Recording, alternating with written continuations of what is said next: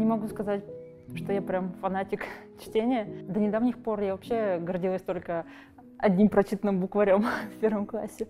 Вот.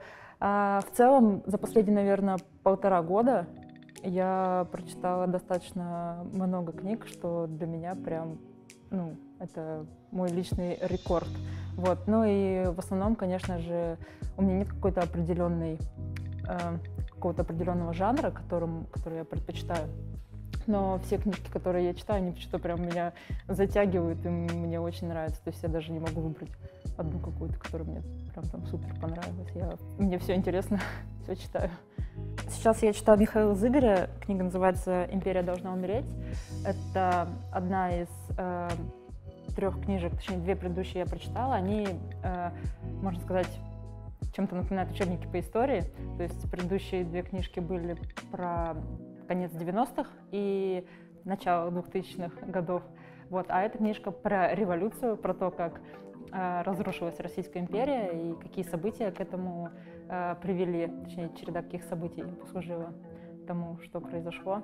Вот. Ну, в целом, да, повторюсь, что это такой некий учебник по истории, который написан доступным языком, очень интересно, и так как у меня пробелы в истории, а в частности с историей России, то очень даже помогает восполнять мои пробелы. Ну, не буду скрывать, что э, я вообще не любила читать. То есть прям, мне, наверное, не было ни одной прочитанной книжки там класса до 10 может быть, ну прям полностью книжки, то есть какие-то произведения там, да, по литературе в школе нас, когда уже с палками заставляли, тогда я читала. А так, чтобы восхища... восхищаться какой-то одной книжкой из детства. Ну, разве что, наверное, у меня была классная книжка «Волшебник изумрудного города», она была с такими яркими картинками.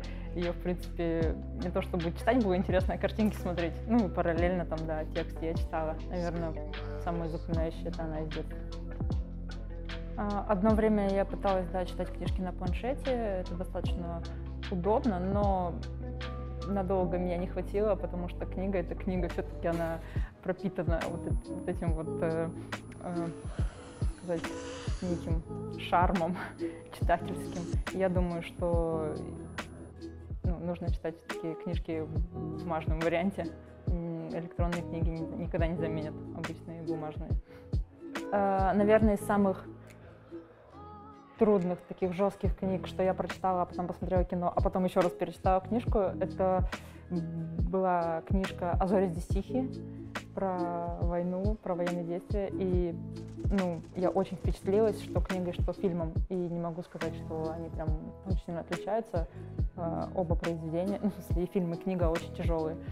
А из недавнего я э, в кино... Хотела, я захотела прочитать книгу Петрова в гриппе, посмотрела фильм в кинотеатре Кирилла Серебренникова фильм и поняла, что я не буду читать эту книгу, потому что после фильма я на рассудке отходила, у меня ужасно болела голова, то есть это какая-то прям для очень тонких ценителей современного искусства произведение, вот, и я даже побоялась начинать читать книгу, вот.